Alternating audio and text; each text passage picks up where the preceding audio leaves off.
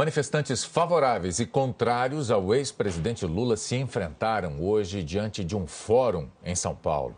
Lula e a mulher Marisa seriam ouvidos sobre o apartamento triplex de um condomínio de Guarujá, no litoral paulista, mas o Conselho Nacional do Ministério Público suspendeu os depoimentos. Os dois grupos de manifestantes foram separados pela PM, mesmo assim trocaram xingamentos desde cedo. E essa mulher que estava no grupo que veio prestar apoio ao ex-presidente Lula foi atingida na cabeça por uma pedra. Ela foi atendida na enfermaria do fórum. Mas a maior confusão começou quando o grupo contra o PT resolveu inflar um boneco do ex-presidente, chamado Pichuleco. Os militantes do PT, que estavam em número maior, romperam o cordão de isolamento da PM e partiram para cima do grupo do Pichuleco, que estava dentro de um cercado.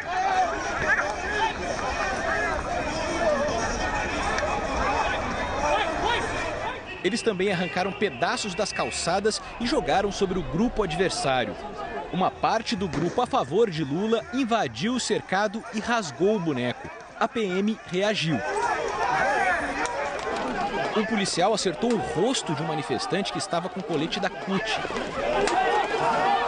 Ele foi retirado desmaiado para dentro do fórum. A polícia fez um novo cordão de isolamento, mas os manifestantes também já voltam a se organizar aqui. E lá no carro de som, o pessoal continua dizendo que não vão deixar que o boneco seja inflado. Mais uma vez, eles invadem o cercado e há uma briga generalizada. Um outro homem desmaia. Não foi isso que nós combinamos! E a polícia usou muito gás lacrimogênio para acabar com a confusão. Se os manifestantes vieram, os interrogados não apareceram. É que ontem, tarde da noite, o conselheiro Walter Araújo, do Conselho Nacional do Ministério Público, decidiu suspender todos os atos de um promotor aqui de São Paulo que estava investigando a suspeita de crime de lavagem de dinheiro na aquisição de um apartamento triplex em Guarujá pelo ex-presidente Lula. O conselheiro atendeu a um pedido do deputado federal pelo PT, Paulo Teixeira, que questionou a legalidade dessa investigação.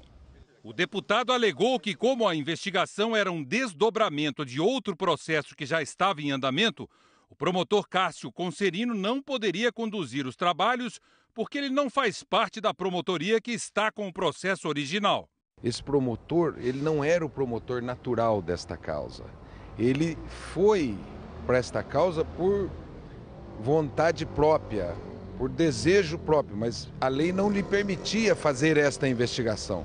O conselheiro Walter Araújo concordou e concedeu a liminar, suspendendo os interrogatórios de Lula, Dona Marisa e de dois executivos da construtora OAS.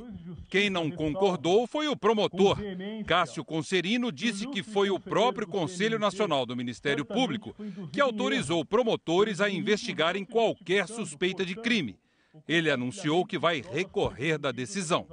A fim de obter urgente revisão e reversão da decisão proferida, para que possam cumprir o objetivo de apurar os graves fatos envolvendo pessoas que se consideram acima e à margem da lei, algo que não pode ser subtraído da honesta sociedade civil brasileira. O Instituto Lula voltou a declarar que o ex-presidente e Marisa Letícia nunca foram proprietários de imóvel no condomínio de Guarujá. O conselheiro Walter Araújo afirmou que suspendeu os depoimentos para impedir uma anulação de toda a investigação no futuro. A Corregedoria do Ministério Público Paulista instaurou um procedimento disciplinar para apurar a conduta do promotor Cássio Concerino no caso. Durante o tumulto, um policial militar quebrou a câmera do repórter cinematográfico da Globo News, Eduardo Agostinho. A Associação Brasileira de Emissoras de Rádio e TV afirmou que é inaceitável que profissionais sejam impedidos de cobrir fatos de interesse da sociedade. A PM de São Paulo declarou que não recebeu nenhuma denúncia de abuso policial. Segundo a Secretaria da Segurança Pública, a intervenção da PM foi necessária para controlar o tumulto.